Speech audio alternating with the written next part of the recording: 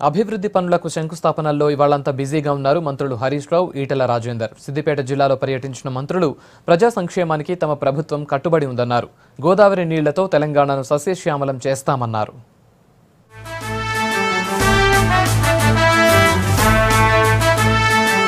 సిద్దిపేట జిల్లాలో బిజీగా తిరిగారు మంత్రులు హరీష్ రావు ఈటల రాజేందర్. సిద్దిపేట జిల్లా బెజ్జంకి మండలం తోటపల్లిలో మంత్రి ఈటెల రాజేందర్తో కలిసి పలు అభివృద్ధి పనులకు శంకుస్థాపనలు చేశారు మంత్రి హరీష్ రావు.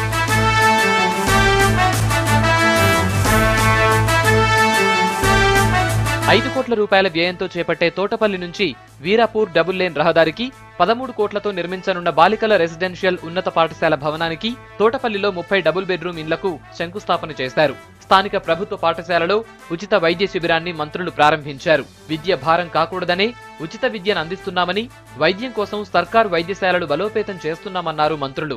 పదమూడు కోట్ల పది లక్షల రూపాయలతోని ఎస్సీ రెసిడెన్షియల్ స్కూలు శాంక్షన్ చేసుకొని ఇవాళ చెరువు కట్ట కింద కొబ్బరికాయ కొట్టుకున్నాం. ఐదు కోట్ల రూపాయలతోని రోడ్డు కూడా శాంక్షన్ చేసుకోవడం జరిగింది. ముప్పై కోట్ల రూపాయలతోని ఆన్లైన్ రిజర్వాయర్గా మార్చుకున్నాం.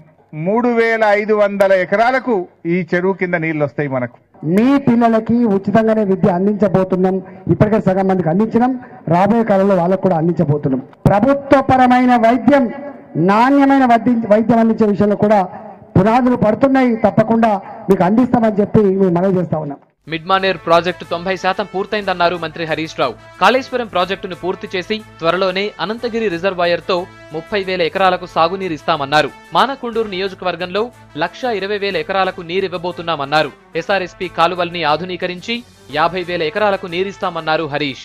వచ్చే వానకాలం నాటికి కాళేశ్వరం పని పూర్తి చేసుకొని కాళేశ్వరం నీళ్ళు మిడ్మానేరుకు మిడ్మానేర్ నీళ్ళు తోటపల్లి గౌరవెల్లి గండిపల్లి తీసుకుపోయేటువంటి కార్యక్రమం చేపట్టబోతున్నాం. జనవరి నెలాఖరు నాటికి మీకు గోదావరి నీళ్ళు మీ ఇంటింటికి నీళ్ళు తీసుకొచ్చే కార్యక్రమం పూర్తి చేస్తామని మనం చేస్తా ఉన్నాం. మొత్తం కరీంనగర్ జిల్లాకి నీళ్ళ ఆరాన్ని తెలంగాణ రాష్ట్రం అందించుకోబోతున్నాము. గొల్లకురుమల సంక్షేమ హాస్టల్ భవనానికి శంకుస్థాపన ఏర్పాట్లపై కుల సంఘాలతో సమావేశం నిర్వహించారు మంత్రి తలసాని శ్రీనివాస్ యాదవ్. రాష్ట్రంలో గొర్రెల కోసం వంద సంచార వైద్యశాలలు ప్రారంభించామని రెండు వేల పద్దెనిమిదిలో రాష్ట్రంలో మనుషుల కంటే గొర్రెలే ఎక్కువ కనిపిస్తాయన్నారు. రెండు వేల పద్దెనిమిది డిసెంబర్ ఈ మంత్కు చూస్తే రాష్ట్రంలో మనుషుల కంటే గొర్రెలే ఎక్కువ కనిపిస్తాయి. ఇప్పటికే గ్రామాలల్లో పట్టణాలల్లో ఆ పరిస్థితి ఉన్నది.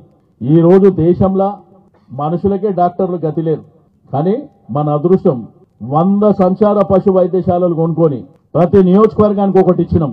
దాంట్లో ఒక డాక్టర్ కానివ్వండి ఒక ఫారవెట్ కానివ్వండి కాంపౌండర్ కానివ్వండి మెడిసిన్.